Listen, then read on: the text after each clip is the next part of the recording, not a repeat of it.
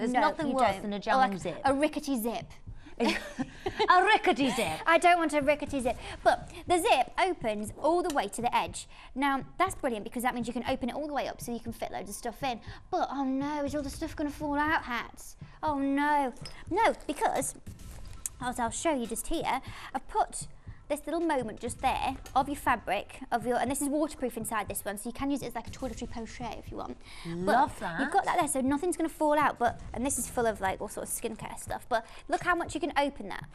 So I you don't can know fit how you've stuff got. in. Sorry, the the waterproof feature of that quality lining Yeah. is so exquisite and expensive. That's top notch. That's top, top, top level quality there. Because Mm. normally waterproof anything, and I, I hate to say this, but even waterproof matches, nasty, nasty, feels horrible, sounds horrible. Yeah, and sounds this doesn't really. It doesn't sound No. or look waterproof, and that's the secret of the best waterproof fabric. Kati, you've outdone yourself. So items don't